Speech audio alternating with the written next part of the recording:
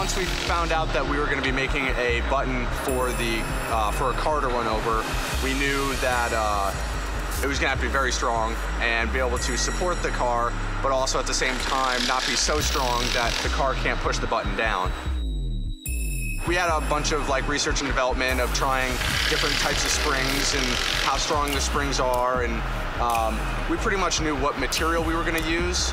Um, but it was just a matter of just kind of putting all the different specs together and just figuring out the right combination.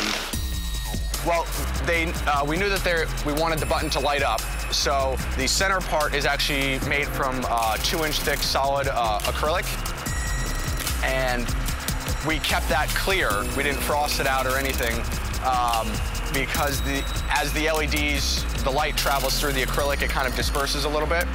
And we also have uh, micro switches in there that uh, trigger the flashes, like just camera flashes that they wanted. Um, so when the button's pressed, it should trigger the flashes and the light coming on at the same time. Um, the only question that we have right now is if the tire is actually going to be able to push the button down, just because we haven't we haven't tried it yet. So that's kind of the only thing that's still up in the air.